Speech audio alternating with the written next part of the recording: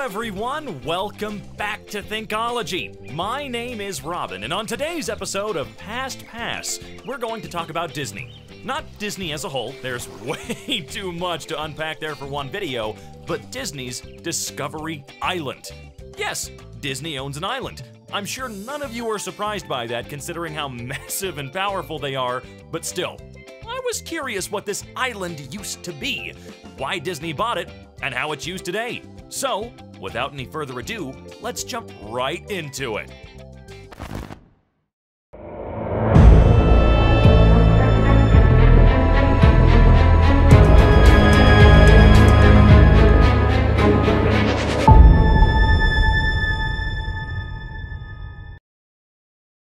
Discovery Island sits within Bay Lake, Florida, close by the Walt Disney World Resort. The earliest paper trail about this island that I could find is when Henry B. Plant, from the Plant Investment Company, purchased this area of land and the island with it as he was expanding his railway network. Obviously, this island didn't really have much use for him as a railroad operator. So, a few years after receiving the land from Florida's Internal Improvement Fund, Plant sold the land to Charles Lackey in 1887. Information here is, again, pretty sparse, but we know that Lackey owned the property for 16 years before he sold it to Peter Keene on March 6th in 1903. Keene only owned it for three years before selling it to Joel Riles in April of 1906. Few sources about the island seem to go this far back in time, but one author that did wrote, I believe this is the same Riles for whom the island was named for for a long time. Even many modern maps still refer to it as Riles Island. Wikipedia refers to the island as Raz Island during this time, which is also referred in an Orlando Sentinel article, which in turn cites the book Since the World Began by Jeff Kurtti. It's possible Raz Island was simply a misunderstanding of Riles Island, or it could be that a Raz family lived there without regard for ownership of the island. I couldn't find any evidence of a Raz family ever having a claim on the property, and all the existing references I could find referring to them are all still unsourced. All of my sources that state it was called Riles after the man that lived there don't actually have any sort of documentation linked to this family. One source says the island was known as both Raz Island as well as Idle Bay Isle, only to later be called Riles Island for a second time. With so many owners, it's no wonder things got confusing so easily. It seems this island was destined to trade hands again, though, as Riles fell behind on his taxes, and after eight years of ownership, the state of Florida reclaimed the property in 1915. The state then sold it to a man named W.H. Reams. It took three long years, but in 1918, Reams finally received a proper deed to the property. Reams was apparently a pretty unusual guy. He later went on to become the mayor of Winter Garden, a city in Florida he had served in in the Spanish American War, and he was even wrapped up in his uncle's strange disappearance at one point. However, despite the state selling the island to this Reams character, Riles wasn't completely out of the picture. In fact, in 1917, before Reams received his first official deed, Riles had tried to sell the property to a man named Jim Gear. Jim likely didn't know about Riles' tax repossession, so when he found out, Reams figured he could make a few dollars. After all, he'd purchased the island at a tax sale. And here was a buyer that truly wanted it. Jim and Susan Gear finally took possession of the island in 1919 and, about a year later, transferred it to F.R. Gear, likely a family member, maybe even a gift from parents to son. Now, my sources state that F.R. Gear owned the island for a few years himself before then selling it to an F.A. Rollins in 1924. This likely upset his parents, who clearly worked quite hard to get that island, having purchased it twice only to have their son sell it off again so quickly. Rollins added insult to injury by failing to pay his taxes on the property in 1926, resulting in another tax sale on the island in 1927.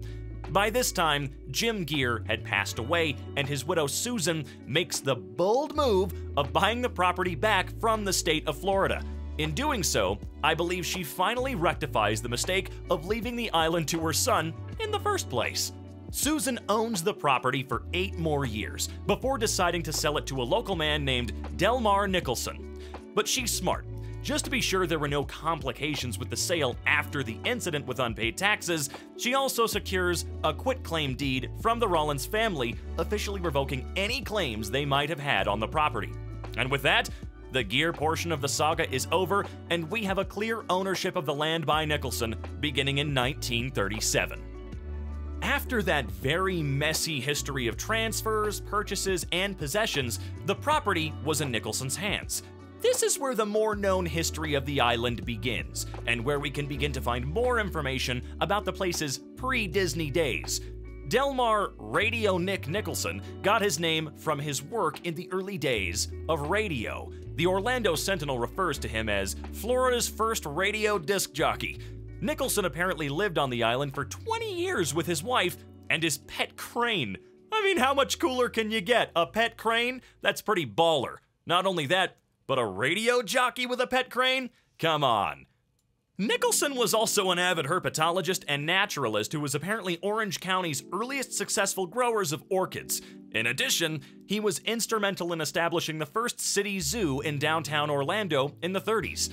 He has followed each development and advancement in the science and has adapted himself to all of these changes, which are bringing broadcasting and radio reception to a higher peak of perfection. A 1937 Sunday Sentinel Star story said, there are stories that Nicholson was a recluse, a Satanist, or a Wiccan, and seemed to have a dark cloud floating over him at all times. The post I found states that Radio Nick also created a dark presence on the island, this is only a creepy pasta, though. I wasn't able to actually find any evidence of this whatsoever. I just find it interesting that he's become this strange villain in these stories told about this place. Uh, back to the island. One old photo shows that in 1946, the island had clear signs of an organized fruit growing operation as well. Nicholson had truly made this place his home up until the Idle Bay Isle was dissolved in 1952 and when Flora Thomason bought the property. The Thomasons decided to sell the property in 1955. They sold it to a large group of locals, with three trustees listed as Arnold, Beery, and Root. The Thomasons still owed their own mortgage, though, so there's a stipulation in the new mortgage that the group pay the Thomasons for their remaining responsibilities to Nicholson. Yeah, it only gets slightly complicated for some reason. A little more digging reveals this new group to be called the Bay Isle Club, which planned to manage campsites on the property but would keep the island itself private for their own use. At this point, we also get an indication that Nicholson's home on the island itself was the only developed piece of the entire property around the lake at the time. That said, they still opened the island for occasional social gatherings when it suited them, including the annual trip of the Orlando Optimists. The Thomasons complete their obligations to Nicholson in 1959, and the Bay Isle Club completes its six year mortgage to the Thomasons in 1962. Finally, Disney entered the picture just a few years later when they bought the island in 1965. Now, Walt himself died in 1966, and the focus of Disney really became building Walt Disney World, resorts, and theme parks. Disney originally planned to add a pirate theme to the island and call it Blackbeard's Island, but the name was discarded and changed to Treasure Island. It was meant to be a retreat for exploration and relaxation with wrecks of pirate ships. However, in 1974, plans to add a wide variety of tropical birds to the island emerged, and it opened to the public in April of 1974 as a relaxing bird sanctuary, with a few remnants of the pirate theme still present. More than 600 birds were planned for, new man made bodies of water were present on the island, and it was turned into a tropical paradise. At first, the island wasn't all that popular.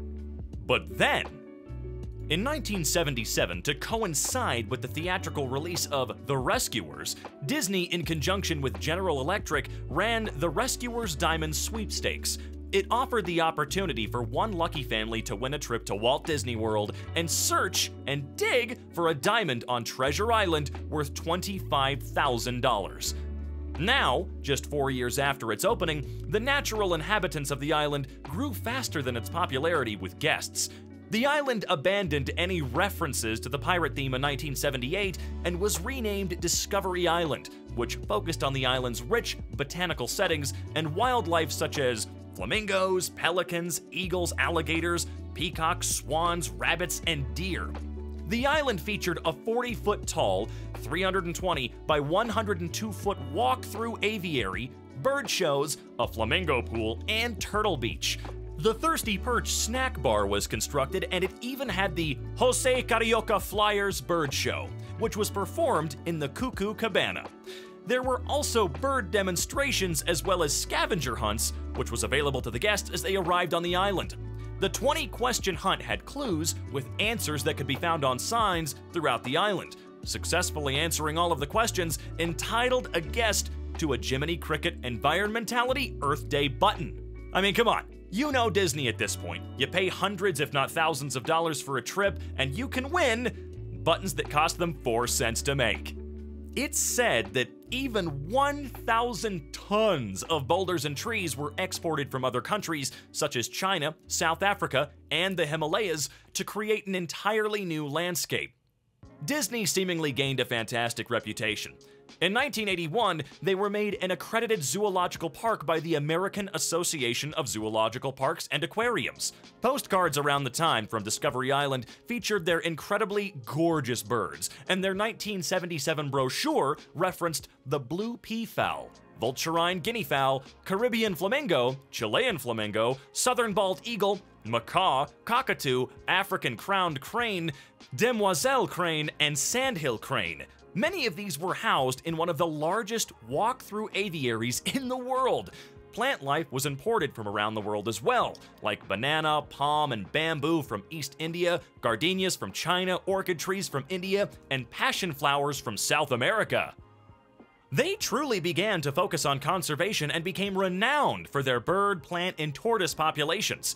Brochures from the 80s and even into the 90s showed their increasing focus on environmental responsibility as well, with fun facts about their plants and animals like the muntjac deer, native to Southeast Asia, and bamboo. One description of the island reads As you left the Discovery Island dock, you encountered the Thirsty Perch snack bar and the restrooms on your left. The map directed you to the right toward the Discovery Island Bird Show near the North Inlet. In some areas, the walkway was elevated, crossing ponds, wetlands, and marshy areas where birds and animals roamed freely. There were plenty of animal encounters as you passed Trumpeter Springs, North Falls, Swan's Neck, and Bamboo Hollow. Next in the journey was Monkey Point, home of the colony of lemurs from Madagascar and their distant relatives, the marmoset. Crane's Roost and Toucan Corner were the final viewing opportunities before you entered the enormous walk-through aviary, home of the striking scarlet ibis and so many other exotic birds which were visible over, under, and beside the elevated boardwalks of Avian Way. Soon after exiting the aviary, you arrive at Pelican Bay, populated by injured pelicans which had been treated in the animal hospital housed on the island. These injured birds spent their remaining years living in the lap of luxury as Disney guests. Doesn't sound too bad, honestly. I wonder how much they charge those birds. This sounds amazing, right? If they were accredited, then they must have been a legitimate conservation. Well, things get a bit messy here. Now, one source claims that it was Disney's Animal Kingdom theme park that ended things for Disney's Discovery Island. As true as that may be, there was a lot more happening behind the scenes that wasn't exactly in line with the conservation efforts Disney promoted.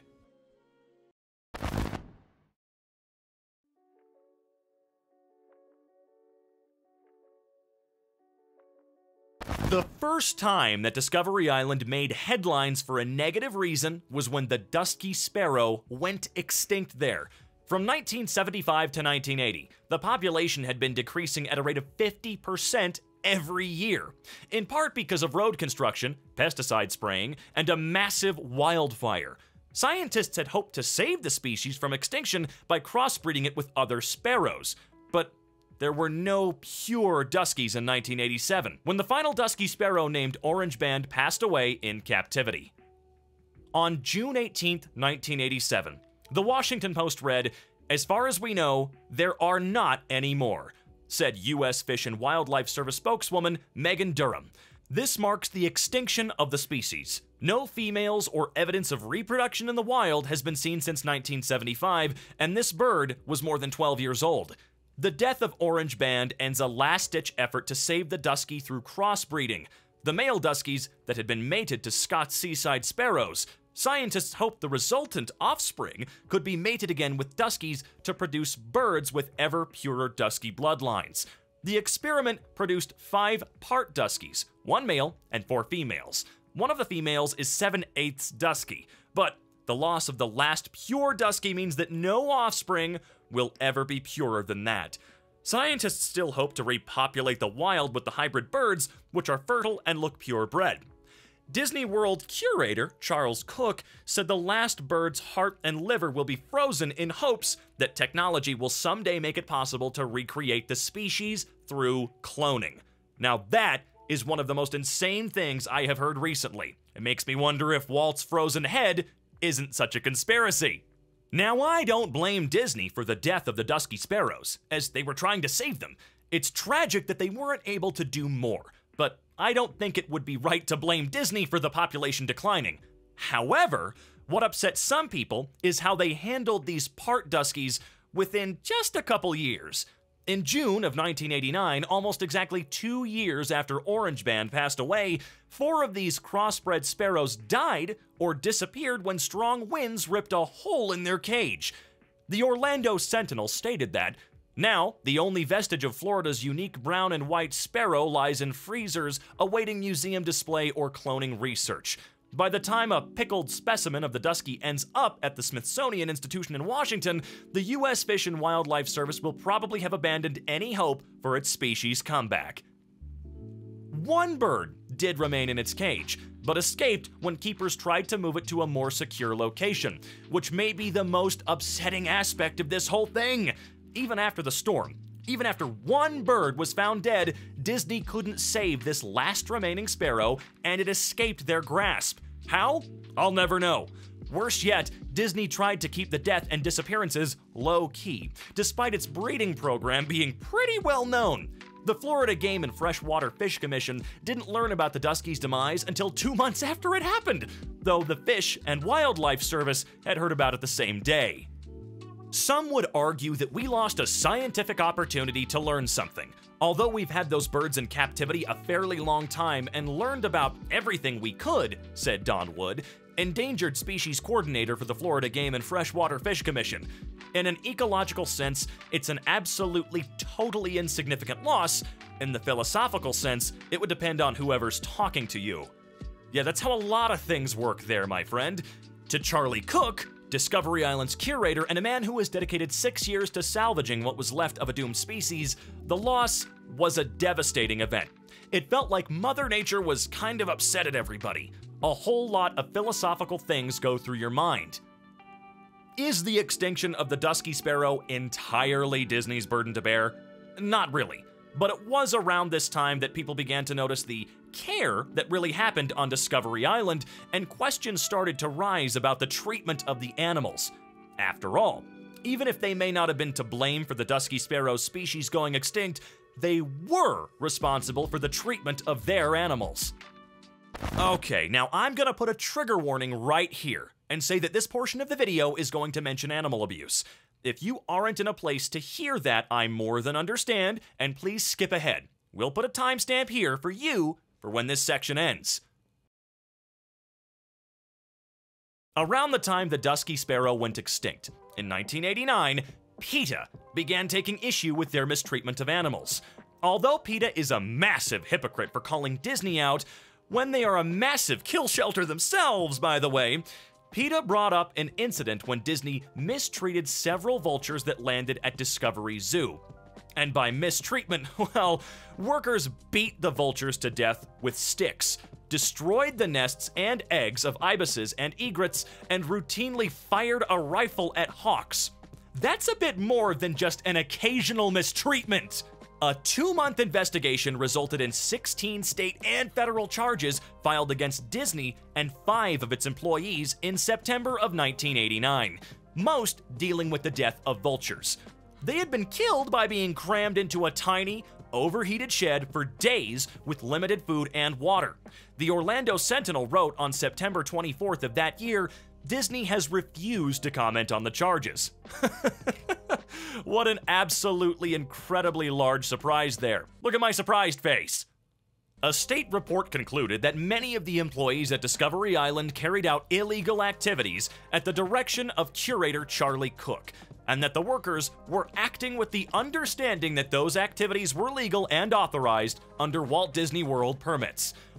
The recriminations go beyond the legal problems that Disney faces. The documentation of the killing and inhumane treatment of protected wild birds has led other zookeeping professionals to question Discovery Island's management.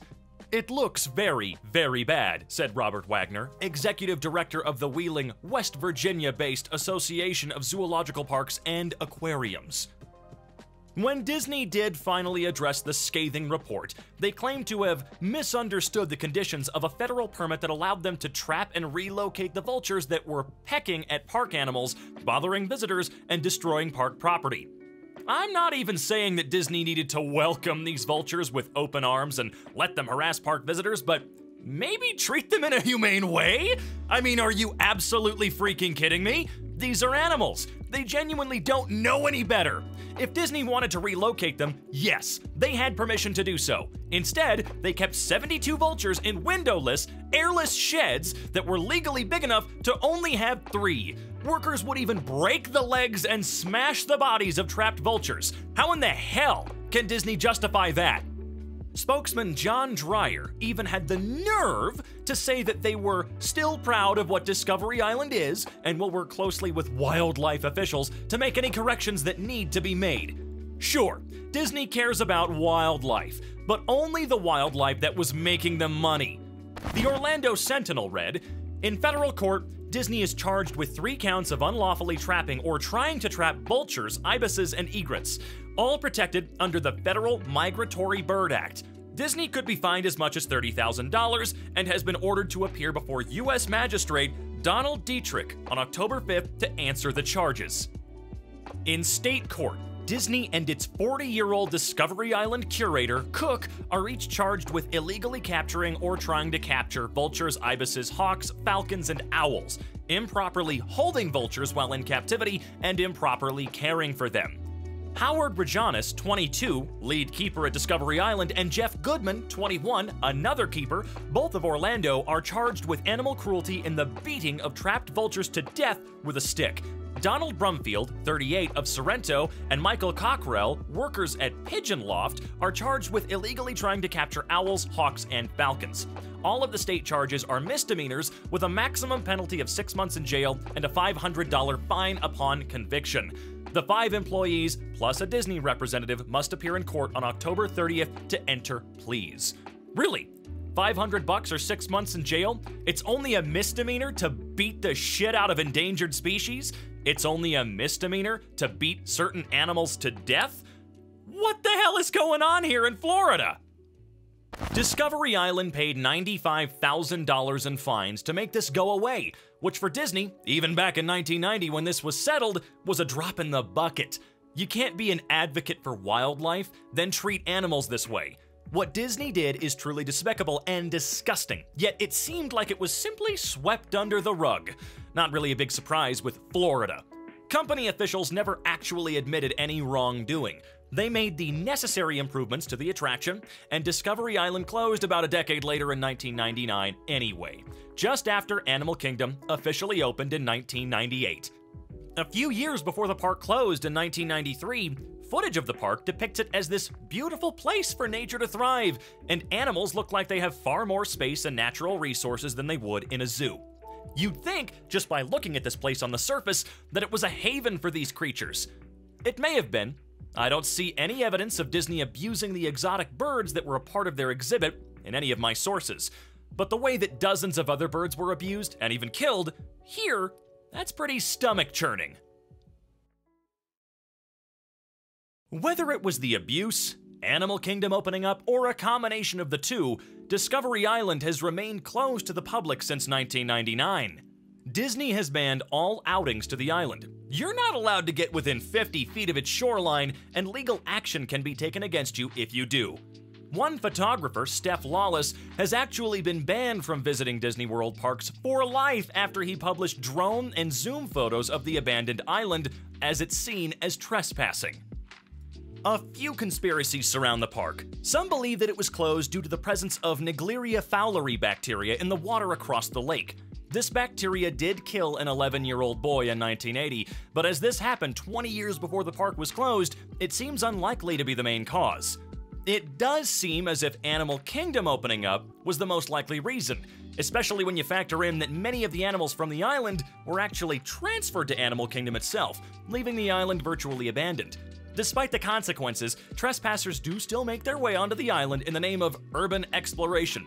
If a place is banned or off limits, it's probably for a good reason, so I can't really condone their actions, no matter how interesting the footage is. The aviary pathway is still intact, built so that guests could see birds eye to eye elevated off the ground. Huge piles of signs and garbage and structures have been left behind, though, and as of 2017, there's no work happening on the island. Some sources claim that they almost turned Discovery Island into a sort of Myst Island, taken from the popular video game series Myst creators Robyn and Rand Miller have confirmed this, according to my source. Myst Island would have attempted to duplicate the look and feel of the award winning computer games, only a limited number of guests would have been allowed onto the fog shrouded island each day.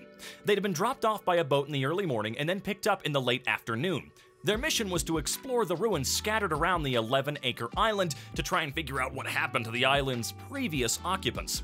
This day long adventure would have been unlike anything that Disney theme park guests had ever experienced before. Just like the CD ROM games that inspired it, Myst Island would have no linear storyline guests could only discover the various puzzles scattered around Myst Island by exploring all of its weird little nooks and crannies. Depending on which path they took, which artifacts they uncovered, as well as the order in which the guests discovered them, different secrets of the island would have been revealed. Theoretically, no two guests could ever have the exact same adventure as they wandered the terrain. And I'm gonna be honest with you, I had no idea about that. That sounds freaking cool, and I'm incredibly disappointed that it did not turn out. What gives, Disney? Come on, I'd still go. I mean, for real, I think that would have been a fantastic idea, but as it stands, this doesn't seem meant to be. If Disney doesn't use Discovery Island, well, I hope they at least clean up after themselves and get rid of all the trash they've left behind eventually. As it stands, Discovery Island is abandoned and it looks like it's going to stay that way for a very long time. Hey, at least creepypasta writers are gonna have something fun to use, though. It's always good to have something grounded in the real world. Phew, with all of that said, though, that's where we're going to end today's Past Pass. Thank you so much for watching. Thank you so much for listening. Be sure to like and subscribe if you like this video, and if you want to see more content from me, Robin, you know the big, tall, good looking drink of water, you can check out my links in the description down below. I'd love to have you around. And until next time, I'll catch you later, folks.